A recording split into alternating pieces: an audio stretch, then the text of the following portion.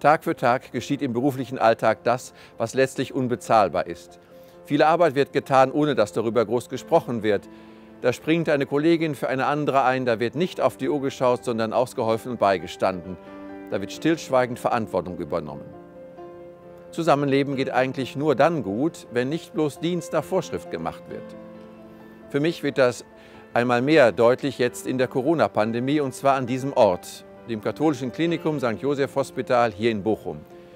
Krankenhäuser wie dieses und die vielen Orte der Gesundheitsversorgung in unserem Land sind Orte der stillen Hilfeleistung. Das, was Ärzte, Pflegepersonal und viele andere tun und getan haben, um Corona-Erkrankte zu behandeln, Sterbenden beizustehen, Angehörige zu trösten und Tote würdig zu verabschieden, geht oft über die normale Arbeitsleistung weit hinaus. Dafür möchte ich Ihnen allen an dieser Stelle danken. Die Gespräche, die ich in diesem Zusammenhang mit Mitarbeiterinnen und Mitarbeitern in Krankenhäusern, aber auch in Altenheimen, Seniorenzentren, Hospizen und in anderen karitativen Einrichtungen führe, bewegen mich innerlich sehr.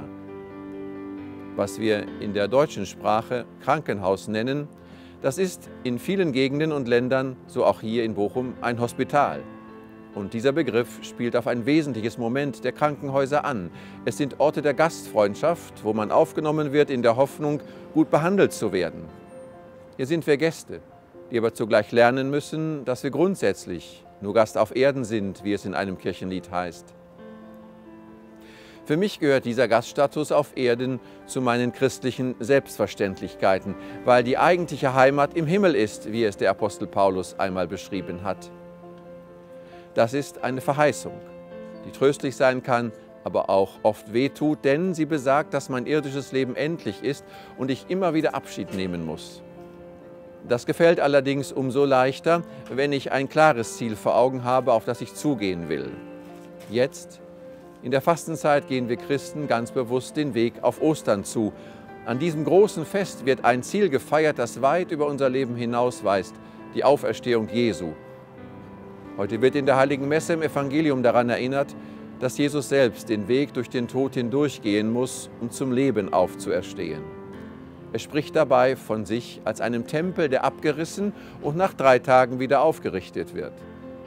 Das Bild vom Tempel gilt aber für jeden Menschen und zwar in einer besonderen Weise. Jeder Mensch ist ein Tempel Gottes, weil Gott jedem Menschen einwohnen will. Und genau das bewahrheitet sich im Tod, so unsere christliche Überzeugung. Auch im Tod ist und bleibt Gott bei dir. So wirst du auferstehen in die Ewigkeit. Ein Krankenhaus als Hospital sagt mir, ich bin nur Gast auf Erden. Aber was für echte Gäste schon hier gilt, gut behandelt zu werden, das erfüllt sich erst recht, wenn wir unser eigentliches Ziel, unsere Heimat im Himmel erreicht haben und auferstehen. Dann sind wir nämlich Gäste am Tisch Jesu, wie es ein anderes biblisches Bild beschreibt. Mir gibt dieses Ziel Hoffnung, die Wege des Lebens zuversichtlich zu gehen.